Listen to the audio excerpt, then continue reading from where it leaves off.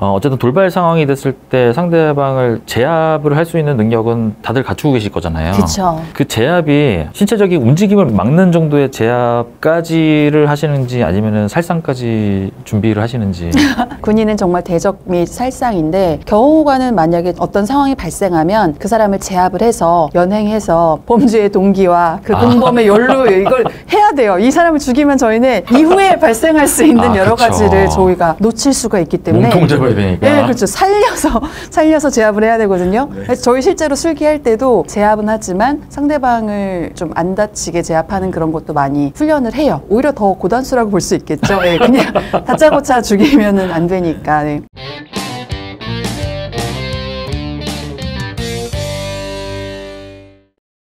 안녕하세요 반갑습니다. 안녕하세요. 반갑습니다. 자기소개 부탁드릴게요. 현재는 배우로 활동 중인 이수련이고요. 대한민국 대통령 여성 1호 경호관으로 근무를 10년간 청와대에서 했었고요. 세 분의 대통령을 모셨고 또 외국에서 한국을 방한하시는 국빈들도 경호를 했었고요. 최근에는 사이렌 불의 섬이라는 넷플릭스 프로그램을 통해서 다시 한번 그 경호라는 일을 또 접하게 됐어요. 네. 그리고 외국에서 한국을 또 찾으시는 VIP들이 공식적인 분들도 있지만 비공식적으로 방한을 하거나 할 때 그런 분들을 사적으로 경호를 하는 경호 의전업도 하고 있고요. 또 한국에서 생산하는 무기라든지 총기라든지 이런 것들을 주한 외국 대사들에게 소개하고 이런 것들을 인플루언싱하는 엠버서더 역할도 하고 있습니다. 무기 브로커인가요?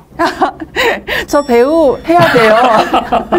진짜 이렇게 얘기를 하면 어떤 분들은 린다 김이냐 이렇게 얘기를 하시는데 아, 린다 김은 아니고요. 경호실에서 저희가 사용했던 어떤 화기라든지 이런 걸 실제로 저희는 소지하고 근무를 했기 때문에 이런 것들을 누구보다 잘 소개를 할 수 있다는 것들을 국내에 있는 방산 업체에서 인지를 하셨어요. 그래서 최초에 뭐 아덱스 코리아나 뭐 이런 무기 박람회 같은 것들이 있을 때 전시 부스에서 소개하거나 하는 일들도 했었고 또 영어가 되다 보니까 이런 것들을 한국에 이제 나와 계신 그런 관련 업종에 종사하시는 외국 분들에게 소개하는 역할을 하고 있습니다. 네. 소개. 알겠습니다. 그러면은 경호관으로도 재직을 하셨으니까 네. 군인이셨나요? 아니에요. 경호실은 특정직 공무원으로 저희를 선발을 해요. 정부직 공무원이고 사실 저는 언론사 입사를 희망하는 언론고시 준비생이었어요. 그 언론사 입시를 공부를 하려면 신문이나 이런 것들을 되게 꼼꼼히 챙겨봐야 되는데 그때 처음으로 대한민국 대통령 경호실에서 여성을 경호관으로 1호 공채를 뽑는다라는 공고가 났어요. 그때 당시 7급 공무원에 준하는 공무원 선발 시험이었고 필기 시험은 언론사 입시랑 좀 유사했어요. 뭐 한국사라든지 시사 교양, 뭐 종합 교양 이런 것들도 보고 또 영어 능력이 굉장히 중요시 여기는 게 외국에서 방한하는 국빈들을 경호할 때나 저희 정상들이 해외로 방문을 할 때 사실 경호의 많은 부분이 보안이잖아요. 근데 저희는 통역을 쓰지 않아요. 음... 저희가 직접 업무 협조를 해야 되기 때문에 영어 능력이 굉장히 중요했고 또 제가 어렸을 때부터 좀 운동을 좋아했어요. 태권도도 5단이 있고 한데 그런 것들이 굉장히 잘 맞아 떨어졌어요. 그러니까 저의 활동적인 성향과 그래서 시험을 지원을 했고 운이 좋게도 붙었죠. 그래서 제가 인생의 진로가 갑자기 확 바뀌어 버렸어요. 일단 대통령 경호관을 하려면 영어가 필수네요. 예, 굉장히 중요한 부분이고요. 그 외국 정상을 근접해서 수행을 해야 되는 경우에 정말 위급 상황에서 가장 마지막 까지 옆에 남는 한 사람이 있다면 그게 경호가 되거든요. 음... 그렇기 때문에 이제 의사소통은 굉장히 중요하죠. 대학교 때 전공은 뭐였어요? 영문학과 아 나왔어요. 영문학이요. 운동 네. 쪽이 전혀 아니시네요? 전혀 아니에요. 그러면 태권도 5단은 그냥 학창 시절에 네. 운동 또 뭐 할 줄 아세요? 이거저거 다 하는데 사실 지금도 취미가 집 근처 이제 사부작 사부작 동네 마실을 돌아다니면 근처에 재밌는 것들이 많아요. 킥복싱 학원이 있으면 킥복싱도 배우고 재밌나요? 네, 우시 학원이 있으면 우시 학원도 들어가 보고 그러면서 이제 완전히 다 잘하진 못하지만 조금씩 제가 할 줄 아는 것들이 늘어 나고 있어요. 대학교 여쭤봐도 되나요? 이대 나온 여자입니다. 사람들이 그래서 저한테 그래요. 이대 군대 청와대 나온 여자라고. 삼대 그러면은 이화여대 영어 영문학을 전공을 하시고 졸업하시고 첫 직장이 대통령 경호관이었던 거예요? 네, 맞아요. 근데 학교를 다닐 때 SBS에서 리포터 생활을 잠깐 했었어요.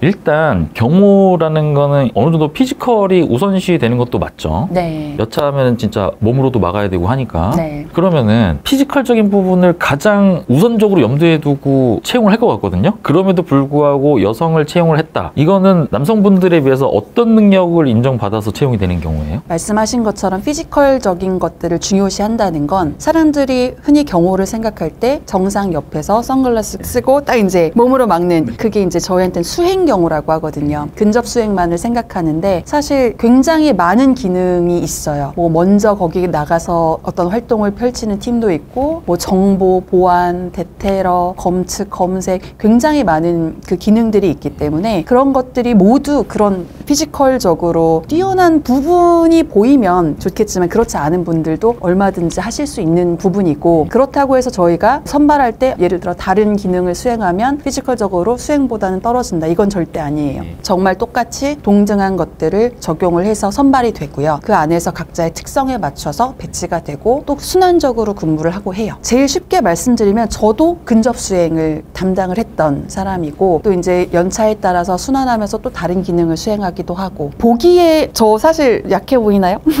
일단 가늘죠. 아 가들어요. 많이 뺐습니다. 여배우 하려고. 아, 그러면은 경호관 재직 시절에는 조금 더 피지컬적으로 괜찮았나요? 네. 근데 오히려 이런 측면이 그 외국에서 방한하시는 분들이 저한테 그랬어요. 닌자냐고. 도저히 그 특히 미국에서 콘돌리자 라이스 국무장관이 방한하는데 한국에서 하는 수행팀장이 누구냐? 제가 나갔더니 막 이러더니 가서 막 자기들끼리 회의를 하는 거예요. 막 하더니 정말 진지한 표정으로 와서 닌자냐고 저한테 물어보는 거예요. 표창 같은 거 숨기고 다니거나 지붕 위를 날아다니는 거 아니냐고. 근데 막상 또 저희랑 같이 해보면은 음, 인정을 하죠. 듣고 보니까 그러네요. 이 경호관이라고 해서 무조건 육탄 방어만 있는 건 아니니까. 근데 물론 육탄 방어도 잘해야 되고. 아, 그렇죠. 아, 저도 육탄 방어합니다. 모든 경호관이 들어가면 어떤 위급 상황이 발생했을 때 그쪽으로 몸을 대적하고 그런 위급 상황을 어떻게 제압하고 이런 것들에 대한 훈련 을 받고요. 누구나 다 그런 건 갖추고 있죠. 그러면은 사격도 잘하실 테고. 네. 경호실에 가서 이제 사격을 배우신 거죠? 네. 저희가 운용할 수 있는 무기도 배우고 또 사실 저희는 다른 기관들하고 협력해서 그 경호를 수행하기 때문에 작전 통제권이 있어요. 어떤 것을 계획을 해서 이 작전을 할 때 저희가 유관기관과 통제를 할 수 있는 지휘권이 있거든요. 그런 경우기 때문에 저희가 같이 일하는 어떤 분들의 어떤 것들을 모르면 안 되잖아요. 사실 그래서 다 순환하면서 교육을 받아요. 저도 신임 직원 때 뭐 해병대 교육도 받았고 하여튼 뭐 소방이라든지 다 해서 경호 관련 훈련을 받고 하기 때문에 그 과정에서 여러 가지 것들을 습득을 할 수 있죠. 네. 그러면은 대통령 경호관으로 재직을 하실 때 하루 일과는 어떻게 시작되는 거예요? 정해져 있진 않고 음, 일단 집엔 가시나요? 아 가죠. 네. 궁금해하시는 게 청와대 안에서 사느냐라고. 아 근데 청와대가 없어졌네요. 아, 그러네요. 저도 옛날 사람이네요 지금. 저희 때는 기능에 따라서 가장 빨리 뭐 튀어와야 되는 경우가 있잖아요. 그런 사람들은 그 근처에서 관사에 거주를 하기도 하고 아닌 분들은 그냥 자가에서 거주를 하시는데 저의 경우에는 근처에 있는 관사에서 거주를 했었고 저는 사실 피지컬적으로 강인해 보이지는 않는 게 저한테는 되게 단점이었어요. 약점이었고 스스로 그거에 대한 부족함을 많이 느껴서 아침마다 4시 반에 일어나면 그 청와대 근처에 경호관들이 운동을 하는 시설이 있어요. 거기로 가서 제일 먼저 연무관 문 따고 들어간다 그러거든요. 제가 문 열고 딱 들어가서 2시간 동안 매일매일 운동을 했고 거기서 이제 다시 청와대로 출근을 해서 그 안에서 이제 업무를 보는데 사람들이 경호관은 책상이 있어요도 많이 물어보더라고요. 그러니까. 근데 이렇게 이렇게 대기하다 뛰어나가는 줄 아시는데 저희도 막 paperwork도 있고 굉장히 많은 것들이 있어요. 어떤 행사가 잡히면 저희도 전략을 세우고 전술을 세우고 계획하고 또 사전을 준비하고 굉장히 많은 것들을 하고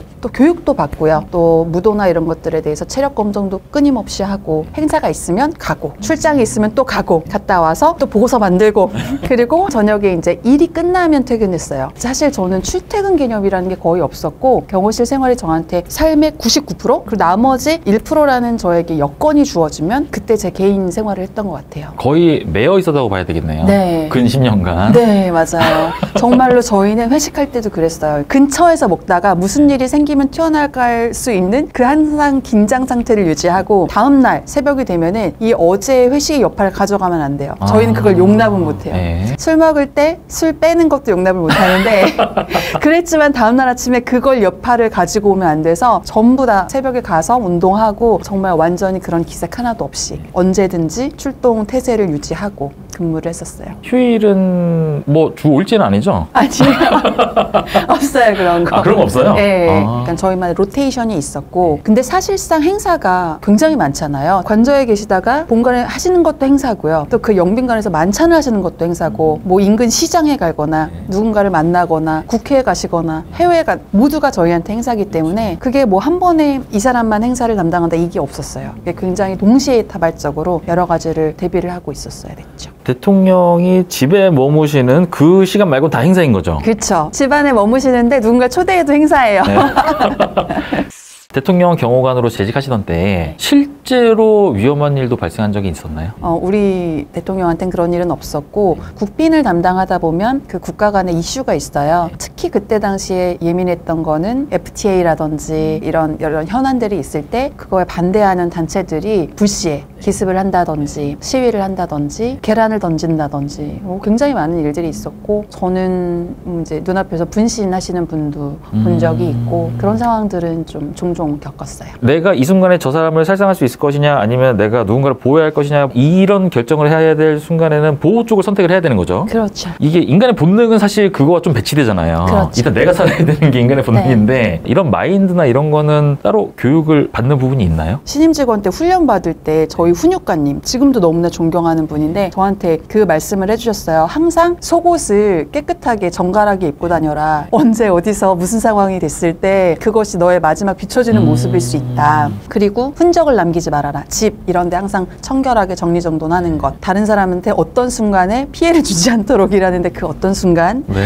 그리고 여러 가지 상황에서 저희가 그 국립 현충원에 참배를 가요. 그때 여러 가지 사건 사고가 우리나라에 있을 때 희생되신 경호관 선배님들의 이제 묘지도 저희가 묵념을 하고 하는데 빈자리가 하나 있어요. 산소터가. 근데 거기를 잘 봐두라고. 너 여기에 묻힐 정도로 열심히 일해야 된다. 이런 얘기를 할 때 밖에 나와서 얘기하면 사람들이 막 어 뭐야 막 이렇게 얘기를 하는데 전 그게 되게 가슴이 웅장했거든요. 그래서 실제로 아 나 진짜 저기 묻히고 싶다. 어차피 한 번 사는 인생 사람이 한 번 죽는 건데 다른 사람을 위해서 죽을 수 있으면 저는 너무나 고결할 것 같고 더군다나 그게 이제 국가 원수라는 건 나라잖아요. 전 국민을 대변하는 그걸 위해서 내가 희생할 수 있으면 이거보다 더 가치 있는 건 없을 것 같다는 생각이 정말 들었고 사실 지금도 그래요. 아침에 제가 새벽 운동을 많이 하거든요. 동네를 막 뛰어다니는데 새벽에 사건 사고가 많아요. 제가 화재 신고도 몇 번을 했고요. 근데 전 그런 상황이 있으면 무조건 제가 들어가요. 연기 나는 걸 봤는데 올라가서 어, 사람이 있는지 다 보고 신고하고 안전하게 뭐 119가 와서 할 때까지도 봐주고 뭐 길거리에서 어떤 위험한 상황이 다친 사람이 있으면 그냥 다가가는데 이게 제가 훈련을 받아서 그런 걸 수도 있고 어쩌면 제가 어떤 사람의 특성인 걸 수도 있는데 이런 마인드는 원래 좀 있는 것 같아요. 모든 경호원들이 저희끼리 경호원 농담이라는 게 있어요. 이제 이건 사실은 아닌데 경호관 농담 중에 그 방탄복을 입잖아요. 근데 방탄복 딱 얘기하면서 야 너 그거 알아? 이거 앞에는 뚫리고 뒤에는 막힌다라는 거예요. 그러니까 정말 말도 안 되는 농담인데 소재가 비싸기 때문에 네. 내가 이렇게 막으면 총을 맞으면 앞에는 뚫리고 뒤에는 막힌다는 거예요. 그럼 뒤에 있는 사람만 살면 되니까 진짜예요 선배님? 선배님이 막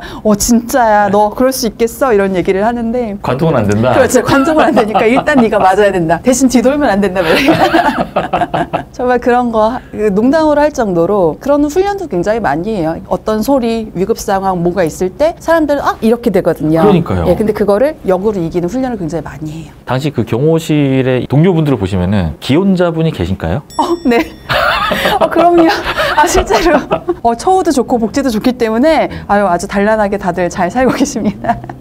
실제로 경호관으로 근무를 하실 때 해외 한 몇 개국 정도로 가보신 것 같으세요? 정말 많이 갔어요. 예, 세볼 수 없을 정도로. 근데 가면 집, 공항, 호텔, 국회의사당. 집, 공항, 호텔, 백악관. 집, 공항 이런 예. 정말 많은 나라를 갔는데 간데 거기밖에 없어요. 그렇죠. 어쨌든 VIP 옆에 항상 붙어 있어야 되니까. 그러면은 이 나라를 갈 때는 약간 좀 긴장을 하고 가야 했었다. 여긴 조금 아, 마음의 준비를 하고 가야 했었다. 이런 나라도 있나요? 아무래도 여건 같은 것들이 좋 지 않은 나라들이 있죠. 분명히 치안 상황이라든지 의료 수준이라든지 이런 것들 테러가 빈발한다든지 이런 나라나 지역을 갈 때는 항상 긴장을 하는데 아무리 안전하고 편안한 나라를 간다고 할지라도 저희는 가는 순간부터 항상 초긴장인 게 일단 떠나면서 차 기동간, 그 다음에 공항, 공항에서 비행기 뜨고 비행기 안에서 저희는 계속 근무해요. 비행기 안에서 뭐 이렇게 음. 기내식 먹고 이런 거 없습니다. 수면 이런 거 없어요. 오히려 해외를 나가면 네. 인원이 이 한국에서 있는 것들에 굉장히 축약해서 나가잖아요. 그 인원이 다 갈 수 없기 때문에 그럼 더 적은 인원으로 똑같은 경계 태세를 유지해야 되기 때문에 더 많은 역할을 개인당 해야 되는 거죠. 그러면 그 대통령은 전용기, 이 특별기를 타잖아요. 그러면은 경호관분들도 같이 타시나요? 네. 기능에 따라서 예를 들어 먼저 가서 그 행사장의 안전을 확보를 해야 되는 팀들도 있어요. 그런 분들은 일반 항공기를 타고 가죠. 그럼 그 전용기 그거는 좀 다른가요? 우리 일반적으로 여행 갈 때 타는 비행기랑 그러니까 예를 들어서 뭐 이코노미도 있고 저기 비즈니스도 있고 퍼스트도 있고 막 그렇잖아요. 네. 전용기는 좀 뭐 다른 게 있나요?